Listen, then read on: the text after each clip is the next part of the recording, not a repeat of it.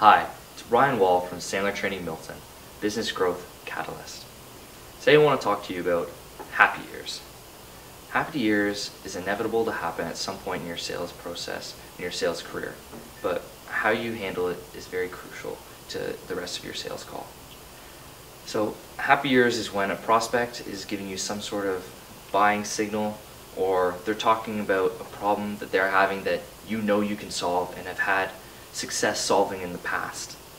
Sometimes when that happens, you get excited and you jump right to presentation mode.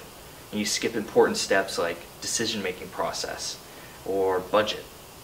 And later on when you're filling out your call debrief sheet, you're wondering what went wrong. So my encouragement to you is when you hear these things, don't jump off your plan. If you jump off your plan, then things are going to go badly. And this happens to everyone, myself included. During my early uh, months in Sandler, I was meeting people at networking or even cold calling, and they were telling me about a surface problem that they had, and I would get excited and go right into booking meetings with them.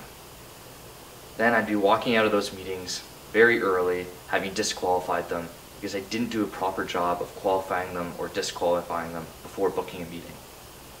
If you'd like to learn a little bit more about Sandler Training Milton and how we may be able to help you in your business, please feel free to give me a call at 905 864 9915.